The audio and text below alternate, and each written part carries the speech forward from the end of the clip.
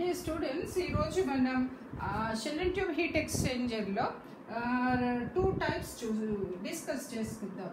One one two heat exchanger ఇంకొకటి two four heat exchanger okay? So last క్లాస్లో మనం single pass one one heat exchanger గురించి discuss చేసుకున్నాం. Single ఇది కూడా కన్స్ట్రక్షన్ అంతా ఆల్మోస్ట్ అలాగే ఉంటుంది.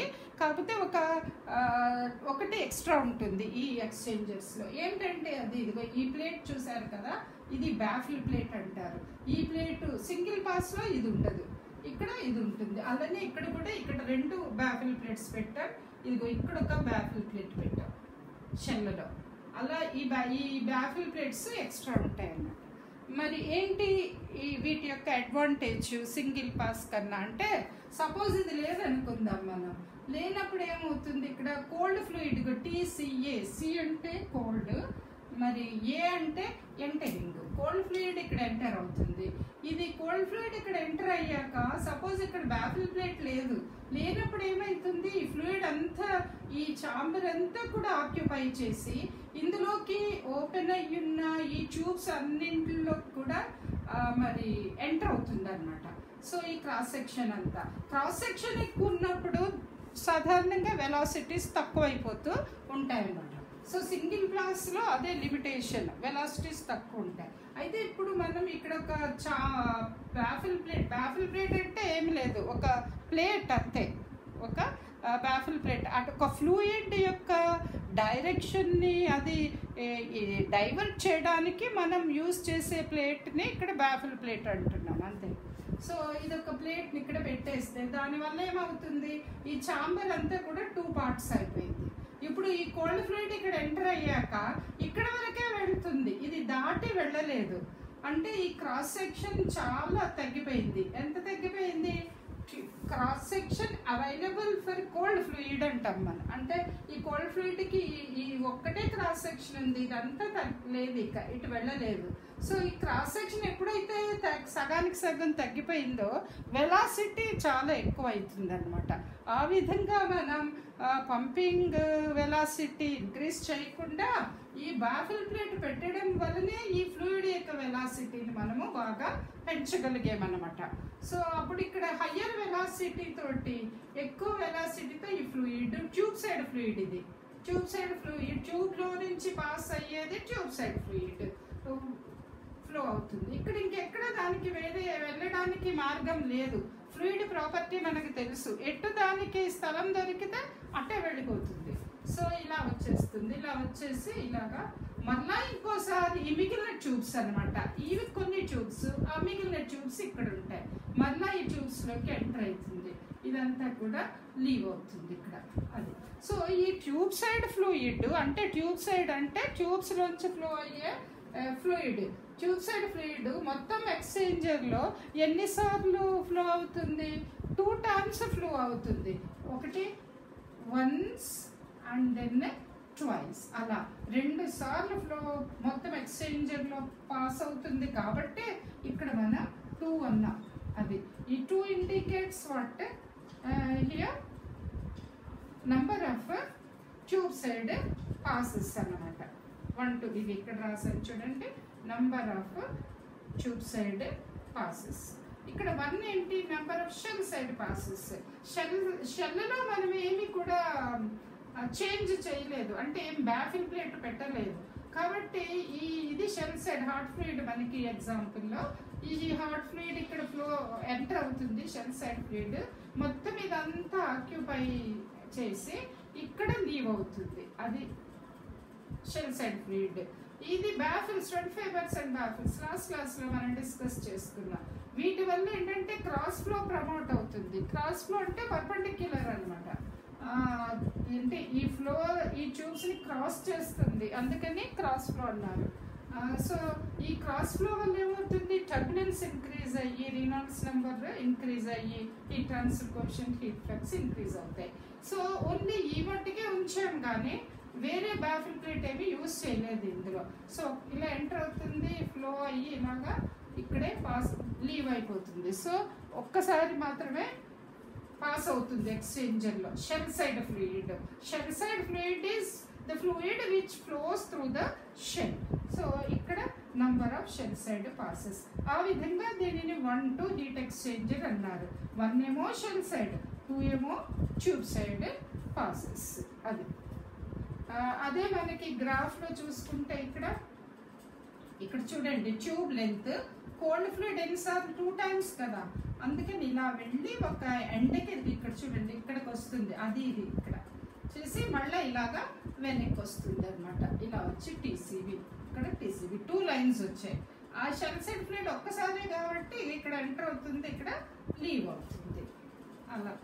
అదే డబుల్ పైప్ హీట్ ఎక్స్చేంజర్ అయితే ఇక్కడ రెండు ఉండవు లైన్ ఓకే సో ఈ ఇది వన్ టు హీట్ ఎక్స్చేంజర్ దీని అడ్వాంటేజ్ ఏంటంటే హయ్యర్ వెలాసిటీ ఈ compare to single pass one one higher velocity disadvantage poor heat recovery అంటే it is compare to two four కొంచెం హీట్ రికవరీ తక్కువ అనమాట అంతే. But compare to single pass one one ఇదే ఎక్కువే. Uh, ఎందుకు అంటే ఇక్కడ మనం దీని నుంచి అర్థం చేసుకోవచ్చు. టీసీబీ టీహెచ్ఏకి దగ్గరగా ఉంటే మంచి హీట్ రికవరీ ఉందని మనకి తెలుస్తుంది. అదే ఈ రెండు డయాగ్రామ్స్ మనం కంపేర్ చేస్తే ఇక్కడ టీసీబీ టీహెచ్ఏకి ఎక్కువ గ్రాఫ్స్ చూస్తే టీసీబీ ఇక్కడ టీహెచ్ఏకి దగ్గరగా ఉన్నట్టుగా మనకు కనబడుతుంది.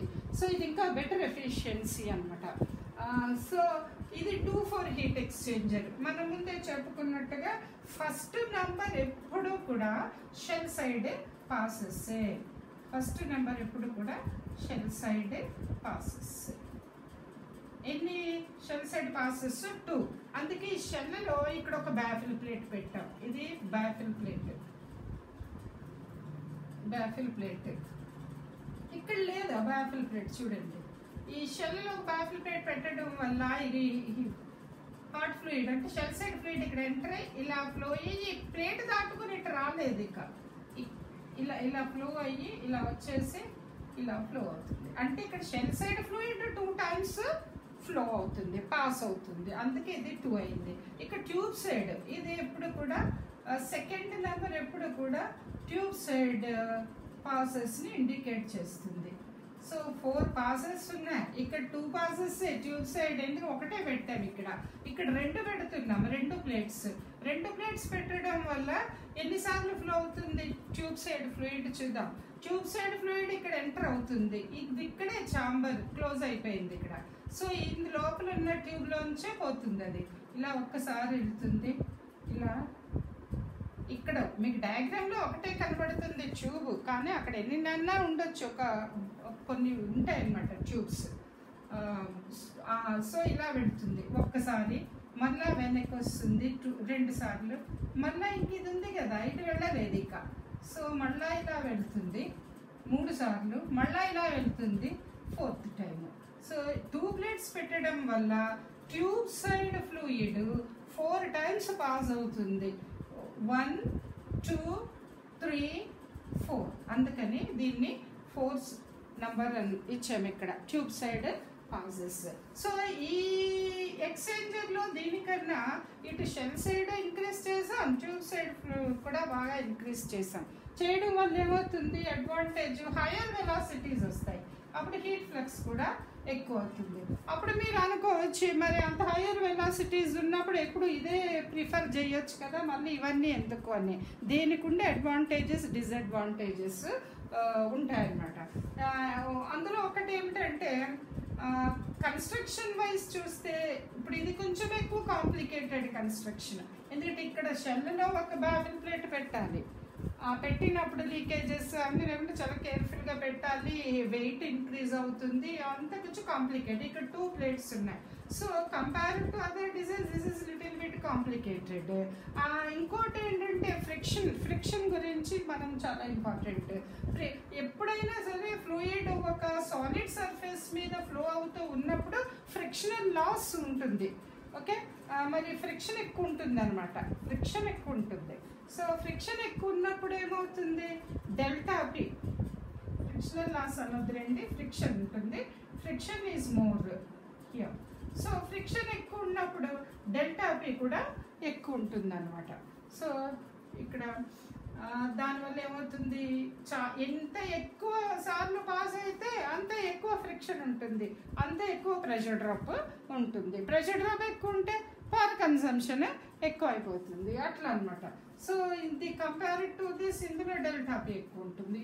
Compared to single pass one one ఇందులో డెల్టా పి ఎక్కువ ఉంటుంది. అట్లా దేని అడ్వాంటేజెస్ డిసడ్వాంటేజెస్ దానికి ఉంటే మన అవసరాన్ని బట్టి అవి చూస్ చేసుకుంటారనమాట ఈ ఈ రెండింటికి కూడా కామన్గా ఉండే డిసడ్వాంటేజెస్ ఇవే. ఏంటి? డెల్టా పి ఎక్కువ ఉంటుంది complicated structure high initial cost so here ఇది చూస్తే మనం ఈ గ్రాఫ్ చూస్తే టీసీఏ అంటే tube side fluid four times కాబట్టి one two three four four lines వచ్చినాయి. హార్ట్ ఫ్లూయిడ్ అంటే షెల్ సైడ్ ఫ్లూయిడ్ ఇక్కడ టూ టైమ్స్ వన్ టూ అందుకే డాటెడ్ బ్రోకెన్ లైన్ టూ వచ్చినాయి. సో ఇట్లా చూస్తే టీసీబీ కూడా టీహెచ్ కొంచెం దగ్గర ఉంది. దాన్ని బట్టి మనకి కొంచెం ఇది ఎక్కువ ఎఫిషియంట్ అని మనకి తెలుస్తుంది. So one two two four heat exchangers ఈ నంబర్ బట్టి ఇంకా టూ టూ అట్లా కూడా ఉండొచ్చు. కామన్గా ట్యూబ్ సైడ్ ఏంటంటే ఈవెన్ నెంబర్ తీసుకుంటారు అన్నమాట. అది ఒక స్టాండర్డ్ టేమా స్టాండర్డ్స్ ప్రకారం స్టాండర్డ్ లెన్స్ కూడా యూస్ చేస్తారు. Thank you